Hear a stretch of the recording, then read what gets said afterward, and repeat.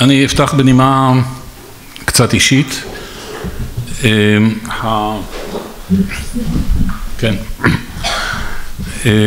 המחקר הזה של אמות המים לירושלים היה למעשה המחקר העצמאי הראשון שביצעתי. הייתי איש צעיר, בן 27, תלמיד לתואר שני באוניברסיטה העברית. יום אחד במרוצת שנת 68 הופיע בביתי בירושלים האיש הזה, יהושע כהן, שאני לא הכרתי אותו, קצת שמעתי עליו, הוא מספר לי שהוא גר בשדה בוקר וכך וכך, לא ידעתי את ההיסטוריה שלו באותם ימים. הוא אומר לי, הוא מקים בית ספר שדה בכפר עציון, כפר עציון באותה תקופה, בשנת 69, היה ממש בצעדים הראשונים של הקמתו מחדש, ויהושע שהיה איש אידיאולוגי ממדרגה ראשונה, הגיע משדה בוקר להקים את בית הספר שדה הזה, מתוך אמונה שבית ספר שדה כזה יחזק את האחיזה באזור הזה, בארץ הזאת, ואיכשהו, אינני יודע מי תקע לראשו את הרעיון, שהאקוודוקטים של ירושלים, אמות המים של ירושלים, זה החוט המקשר בין גוש עציון, כפר עציון, לבין ירושלים, שזאת באמת מציאות אמיתית. ואז הוא יזם את מחקר אמות המים. חיפש ארכיאולוג, מישהו המליץ עליי, אינני יודע מי, אני חושב שזה היה פרופסור יורם צפריר, ואמרתי, טוב, אני פנוי, אני לומד לתואר שני, אבל הזדמנות, אני אומנם מתמחה בתקופת בית ראשון, זאת לא תקופת ההתמחות שלי, אבל אמרתי, ננסה, זה אתגר. יהושע דאג למימון מאוד מצומצם, והתחלנו בעבודה בשנת 69. הצוות היה מאוד מצומצם, למעשה שני האנשים שליוו אותי לאורך כל השלושה חודשים של הסקר היו שיץ שיושב פה באולם הזה, תרים יד, ויצחק גנירם ז"ל, אקלה, הם שניהם היו אנשי צוות קבועים, בנוסף הצטרפו אנשים נוספים, אני זוכר חנן פורת היה בחלק מהימים, יוחנן בן יעקב שיושב פה איתנו היה צילם בחלק מהסקר וחלק מהתמונות שלו תראו פה, לצערי אין לי הרבה תמונות להראות לכם היום. לגביי זו הייתה חוויה מיוחדת גם לעבוד באזור, אמנם אני כבר הכרתי את האזור הזה היטב כי אני הייתי שותף לסקר הארכיאולוגי הראשון של ארץ יהודה, סקר החירום שנעשה בשנת 68, החוליה בהנהלתו של פרופסור משה כוכבי, זה היה סקר שנועד לקבל מבט כללי ומהיר על השטחים השונים ששוחררו, נכבשו, איך שאתם רוצים במלחמת ששת הימים, כי ההרגשה הייתה שעומדים להחזיר אותם לחוסיין תוך מספר חודשים. שנה לאחר מכן יצאנו לסקר אמות המים, ובאמת האזור היה מקסים, הוא היה ריק, הוא היה מסביר פנים, ובאמת לעומת מה שאנחנו רואים היום, ההרס הנורא שאני שומע אליו, לא ראיתי אותו בעיניים, זה ממש עצוב, אבל אז התגלתה לפנינו, לעינינו, מערכת האמות, מערכת האקוודוקטים הזאת, במלוא פארה והעניין העצום שהיא מעוררת. אני היום אנסה לסכם בקצרה את המחקר הזה, הוא פורסם בספר הזה שאתם רואים כאן, ספר שערכו דוד עמית ויזהר הירשפלד ויוסף פטריק על אמות המים הקדומות בארץ ישראל, הוא פורסם בשנת 1989, המאמר שלנו, שלי מבוסס על הסקר שעשינו עשרים שנה קודם בשנת 69 והמאמר נכתב למעשה עוד הרבה מאוד, הרבה קודם לכן אבל הוא באמת מסכם את כל המערכת הזאת, את כל המפעל הזה וגם את כל המקורות הכתובים שקשורים למערכת הזאת בצורה המלאה ביותר. אולי נראה עוד תמונה אחת מההוואי של אותם ימים, הנה אתם רואים פה את שיץ מגיח מהפיר של, מאחד הפירים של ואדי ביאר, יהושע כהן, אקלה ועוד מישהו שאני לא מזהה מושכים אותו בחבל. אתם תשמעו על המערכת של ואדי ביאר אחריי מעזריאל שחקר אותה בצורה מפורטת ביותר בזמן האחרון מחדש. ובתמונה השמאלית שוב את יהושע, הוא הביא גם אקדמאים שעזרו לנו בסקר הזה, אתם רואים פה את ההידרולוג פרופסור לסלי שנן בצד שמאל, אה, אנחנו קיימנו הרבה מאוד אה, דיונים ובאמת זה היה מפעל מאוד מאוד אה, מעניין. וכאן יהושע, אולי יוחנן יכול לזהות את הדמות השנייה? אבו יוסוף. אוקיי. איזה מפעל? את בריכות שלמה. כל מפעל מאביאב, בריכות שלמה, ניפו את זה, חסרות, הוא הביא אותנו לרוב המקומות. אוקיי, טוב, אתה רואה שאני שוכח דברים, זה כבר לא... אני כבר לא זוכר. כן. אוקיי, בסדר גמור. הוא באמת נשכח ממוחי לחלוטין. כן. אוקיי, תודה רבה. זו תמונה שלך, אני מניח. כן. אה, ובכן, המחקר של אמות המים הוא לא חידוש שלי. בפוסטר של הכנס הזה מדובר שאנחנו אלה שחקרו לראשונה והבינו לראשונה את המערכת, זה לא נכון. המערכת הזאת נחקרה כבר במאה ה-19 על ידי חוקרים שונים, כמו למשל צ'ארלס ווילסון הבריטי, במסגרת האורדננס סרווי של ארץ ישראל, והמחקר המפורט ביותר והמעניין ביותר, שפורסם לצערי בגרמנית, אה, הוא של קונרד שיק, אותו חוקר מופלא שוויצרי שחי בירושלים, אתם מכירים אולי את הבית שלו ברחוב הנביאים, שפרסם הרבה מאוד מחקרים, הוא היה מהנדס בעצמו, אדריכל, אה, ומימין התמונה הזאת היא גרועה מאוד, אתם רואים את המפה שהוא פרסם, למעשה התוואי של אמות המים שאנחנו מצא, ראינו בסקר שלנו שעקבנו אחריו, 75 קילומטר של תעלות מים, התוואי הזה מופיע כבר על המפה הזאת של שיק, זה פורסם ב-1878, קרוב ל-150 שנה, עם תיאור מאוד מדויק של המערכת, אני לא יודע אם הוא הלך לאור, לאורכה באופן מפורט כמונו, אבל הוא הכיר את המערכת בצורה טובה מאוד. אנחנו הוספנו עוד מידע, כמובן הרבה מאוד פרטים חדשים שראינו במהלך הסקר הזה. ובכן המערכת מורכבת מארבעה אה, חלקים. אני חושב שרבים מכם מכירים ואולי אין צורך לפרט יותר מדי. שתי אמות מים המובילות אל בריכות שלמה, אנחנו קראנו להם אמת הערוב שיוצאת מבריכת הערוב, אולי קצת מדרום לה, והאמה של ואדי ביאר שאני לא אדבר עליה כמעט בכלל היום, תשמעו עליה הרצאה מיוחדת. בריכות שלמה מהוות את הלב של המערכת הזאת ושתי אמות מים שמובילות מבריכות שלמה לירושלים, האמה התחתונה והאמה העליונה.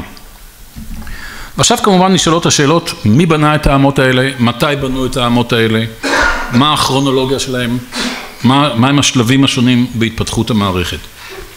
ועל זה ניסינו לענות במחקר הזה, במאמר הזה, בנוסף לתיאור המדויק של המערכת עצמה.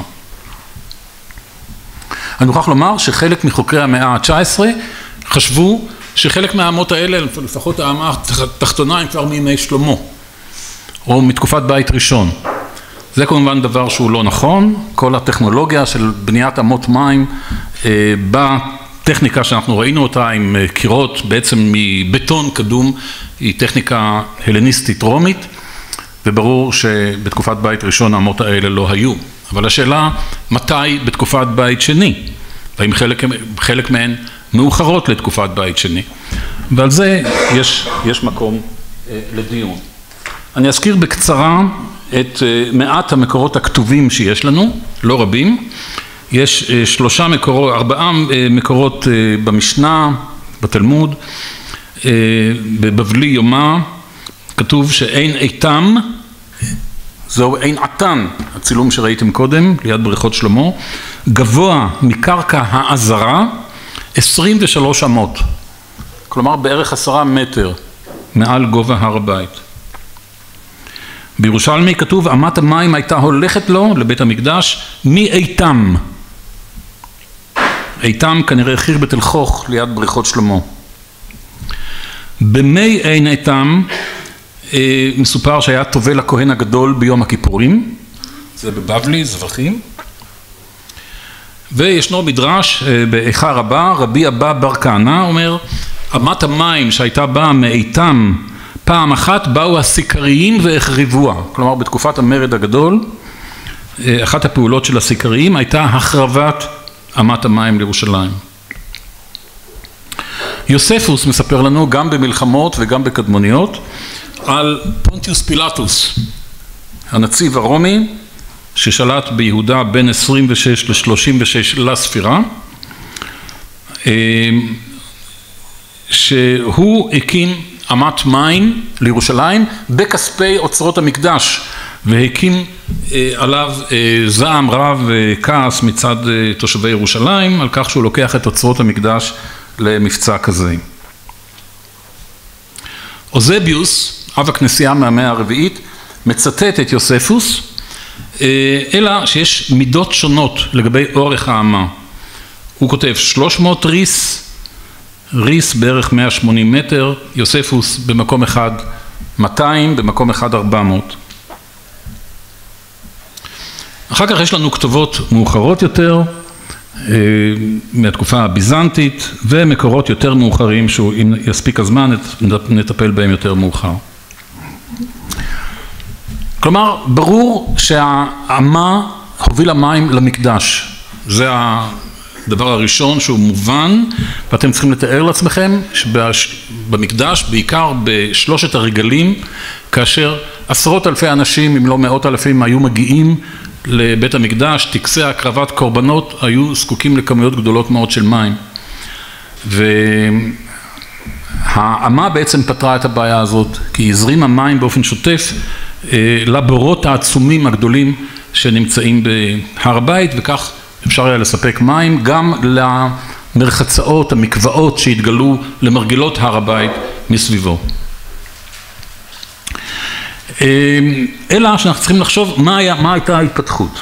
לגמרי ברור אני חושב שהאמה התחתונה היא הקדומה ביותר, יוצאת למרגלות הבריכה התחתונה בבריכות שלמה, נמשכת 21 קילומטר, פי שניים מהמרחק האווירי, עד להר הבית. האמה הזאת מוכרת לנו יפה, ידועה היטב, ו... וברור שהיא הקדומה ביותר, לדעתי, מה קרה פה?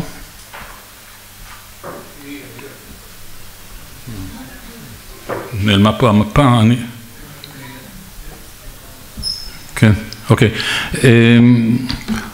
לדעתי היא מקורה כבר בתקופה החשמונאית, אנחנו יודעים שהחשמונאים בנו אמות מים, האמות שחפר, למשל חקר דוד עמית להורקניה, לסרטבה. הן מתקופת, מהתקופה החשמונאית. וסביר ביותר שגם האמה להר הבית הוקמה בתקופה החשמונאית, קשה להגיד בדיוק מתי, אולי בימי אלכסנדר ינאי, קשה להגיד בוודאות.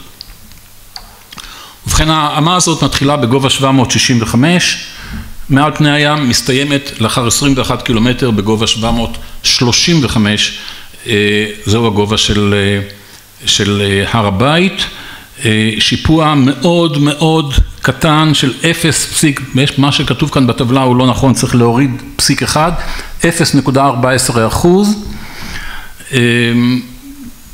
טכניקה מאוד גבוהה של בניית תעלה בשיפוע נמוך ביותר, מינימלי. זה אולי ההישג הגדול ביותר של אותם בונים, של אותם אדריכלים ובנאים של אמת המים, הכושר לשמור על הגובה ולהגיע בגובה הנכון אל המטרה. את זה הם עשו בטכנולוגיה שהתפתחה בתקופה ההלניסטית והרומית, מכשירי מדידה, הקורבט, קורה גדולה עם פלס מים ארוך בתוכו שאפשרה לעשות את העבודות האלה ועוד מכשירי מדידה, אני לא אכנס כרגע לטכניקה הזאת, בספר הזה על אמות המים ישנו מאמר של יזהר הירשפלד המסביר בדיוק איך עשו את הדברים האלה. האמה השנייה שאני רוצה להתייחס אליה היא אמת ואדי ערוב אמת הערוב, שהיא מפעל באמת מרשים בצורה בלתי רגילה. שלושים ו... או, אני עכשיו מובך, כי אני כבר לא זוכר בדיוק את האורך. כמה? כמה? שלושים ותשעה, שלושים ותשעה קילומטר. מתפתלת, כמו שאתם רואים במפה הזאת, פיתולים מאוד מאוד עמוקים בגלל הטופוגרפיה. היא יוצאת מברכת ערוב, הבריכה, שבע, הבריכה שבעמק, שבעמק הערוב, ואנחנו חשבנו גם שהיא אספה מים משני מעיינות מדרום לעמק, עין קווזיבה ועין הדילבה. אמר לי עכשיו שיץ שמדידות חדשות הראו שהן כנראה נמוכות מהאמה, שהמעיינות האלה כנראה נמוכים מהאמה. מכל מקום, כל העמק הזה כולו מלא נביאות, עין אל ערוב, מי תהום גבוהים, זה אזור שופע המים, והבריכה, בריכת הערוב, היא כנראה המקור שבו ריכזו את המים האלה, ומשם יצאה האמה לדרך. ואתם רואים פה את הקו המפותל הזה מבריכת הערוב עד לבריכה האמצעית בבריכות שלמה, הבריכה התיכונה בבריכות שלמה, עד לשפת הבריכה התיכונה בבריכות שלמה. עכשיו אנחנו עברנו לאורכו מטר מטר, מיפינו אותו, צילמנו, מצאנו כל מיני קטעים מעניינים, למשל שלוש מנהרות שהתוואי חוצה בו בהם רכסים שעברו בדרך, במקום להקיף את הרכס הם בנו, הם חצבו מנהרה ברכס על מנת לעבור אותו, קטעים מצוקיים שבהם הם חצבו תעלה לתוך הסלע, לתוך המצוק ותמכו אותה בקירות תמך גבוהים מאוד ואזורים על ראשי הרכסים יותר מישוריים שבהם פשוט חצבו את התעלה וקירו אותה בפלטות אבן, בלוחות אבן. לא יודע, משום מה אני רואה את התמונה ולא רואים אותה על המסך. למה זה? פילי הטכנולוגיה. עכשיו אתם כן רואים, אבל לא ראיתם את התמונה הקודמת, כן. אז זוהי בריכת הערוב. אוקיי. זאת בריכת הערוב שרבים מכם ודאי מכירים. כפי שנראתה באותם ימים. עין קווזיבה מדרום לבריכה. אתם רואים את אחד מקטעי האמה התחתונה.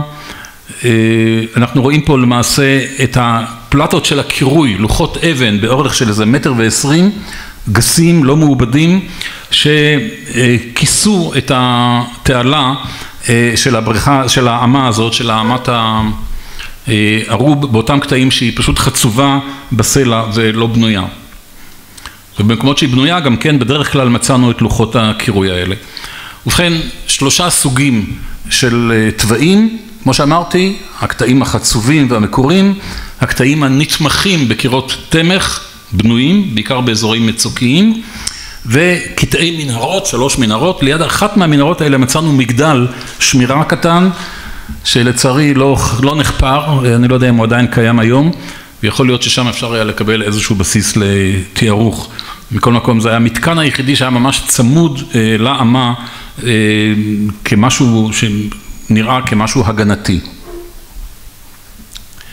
אמת הערוב כמובן הגדילה את כמויות המים שהגיעו למערכת האמות והיא, והמים האלה מילאו את הבריכה האמצעית בבריכות שלמה. אנחנו יודעים ממקורות מאוחרים יותר שמתארים רק שתי בריכות בבריכות שלמה וייתכן מאוד שהבריכה השלישית התחתונה היא תוספת מימי הביניים או מהתקופה הממלוכית. הבריכה, הבריכה, האמה הזאת היא כנראה שלב שני. אם האמה התחתונה היא מהתקופה החשמונאית, אמת הערוב היא תוספת שהגדילה את הספיקה ואנחנו שיערנו שזוהי האמה שבנה פונטיוס פילטוס, כלומר המפעל הזה נוסף במאה הראשונה אחרי הספירה, אולי ביוזמה של המושל הרומי, אנחנו לא יודעים בוודאות, אבל זה מה שסברנו באותה, באותו מחקר.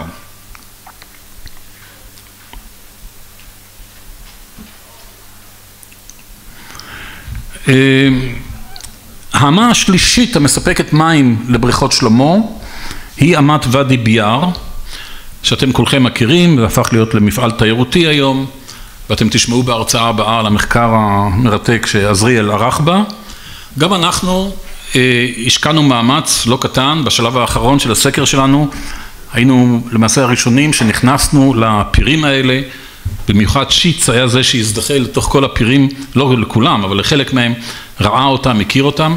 הם היו מוכרים היטב מכיוון שבתקופת המנדט למעשה השתמשו במערכת הזאת, ניקו אותה ושיפצו אותה ולכן הדברים היו מוכרים, אנחנו גם יודעים שבקצה הוואדי נבנה סכר שהוא בנוי על סכר קדום ואנחנו עוד הספקנו לראות בחורף של שנת שישים ושמונה אגם ממש שנוצר מאחורי הסכר הזה בוואדי ביאר והוא כמובן הגדיל את כמות המים שאפשר היה להזרים דרך אמת ואדי ביאר המשופצת לבריכות שלמה בתקופת המנדט. אני לא בטוח אם בתקופות הקדומות היה גם כן, היה כנראה סכר דומה אבל יותר קטן. הכניסה לתוך המחילות של ואדי ביאר, לתוך הפירים והמנהרה הייתה מבצע כשלעצמו, חלק אנחנו עשינו, חלק נסע יותר מאוחר, היה שם סקר של המלח"ם, של חקר המערות שמנהל אותו עמוס פרומקין עם צביקה צוק, נדמה לי בשנת מספר שנים אחרי הסקר שלנו, הם נכנסו ומיפו את המערכת הזאת בצורה יותר מדויקת ועזריאל כמובן עשה את המיפוי המדויק יותר. אבל אנחנו גילינו כמה דברים מעניינים, למשל אתם רואים פה מצד ימין חדר בנוי גזית, בנייה נהדרת, כמרון חביתי שנמצא סמוך לקצה המערכת. ממש האמה עוברת מתחת לחדר הזה. היה קשה מאוד לחדור לתוכו ולראות אותו.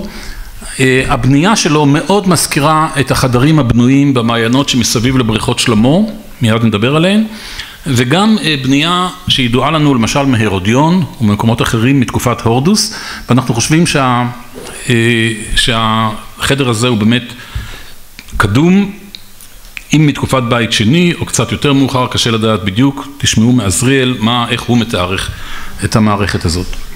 מכל מקום אתם רואים פה כמה תמונות ממערכת ואדי ביאר, הפירים וכדומה.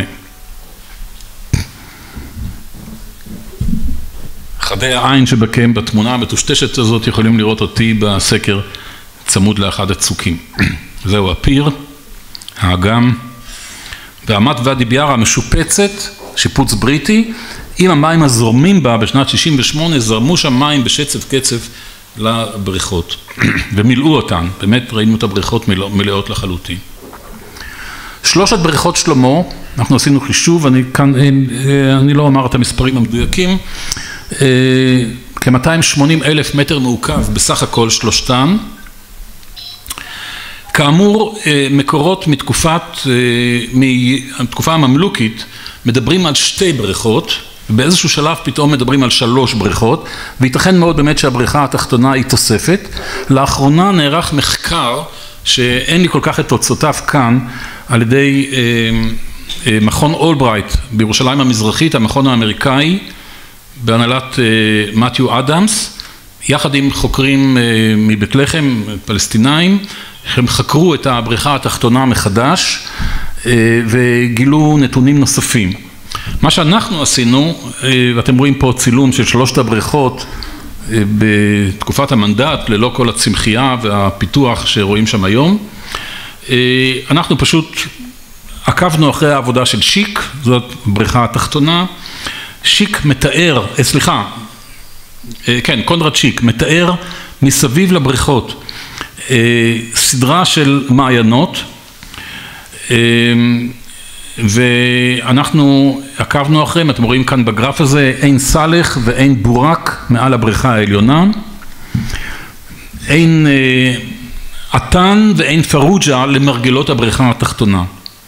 המיוחד הוא שכל ארבעת המעיינות האלה עברו פיתוח בתקופה העתיקה, הם כולם נתפסו על ידי חדרים בנויים ומקורים בבניית גזית ובקמרונות חביתיים, אתם רואים פה את החדר, המסדרון שנמצא מעל עין פרוג'ה, הם כולם בעצם מעיינות נקבה, כלומר נקבות, חלקן עמוקות יותר, כמו עין פרוג'ה, זאת נקבה ממש עמוקה, כ-20 מטר, או נקבות קצרות יותר, כמו אלה של עין סאלח שאתם רואים כאן, או עין בורק, שנמצאים ליד המבצר העות'מאני, המצודה העות'מאנית שליד הבריכה העליונה. ובכן ארבעה מעיינות ששניים מהם יכלו להזין את הבריכה העליונה, פלוס מי נגר עילי, כל אלה ביחד הזינו את הבריכה העליונה והמעיינות של פרוג'ה ועתן שהם לא יכלו להיאסף באחת הבריכות אלא נאספו כנראה ישירות אל האמה התחתונה לירושלים וגם יכלו להיאסף על ידי האמה להרודיון שהרי האמה להרודיון יוצאת מעין ארטס, מהכפר ארטס שנמצא במורד אותו ואדי, כלומר אותם מים יכלו גם להיאסף וזה תלוי היה כנראה בשיקולים של השלטונות האם להזרים מים גם להרודיון מאותם מעיינות ולמעשה גם מבריכות שלמה. אנחנו בסקר הזה גם עקבנו אחרי אמת המים להרודיון, ראינו אותה והלכנו לאורכה, תעלה פשוטה, בנויה, מעין ארטס עד לבריכה הגדולה של המרגלות הרודיון. אוקיי, פה אתם רואים את תוכנית, תוכנית החדרים הבנויים ליד עין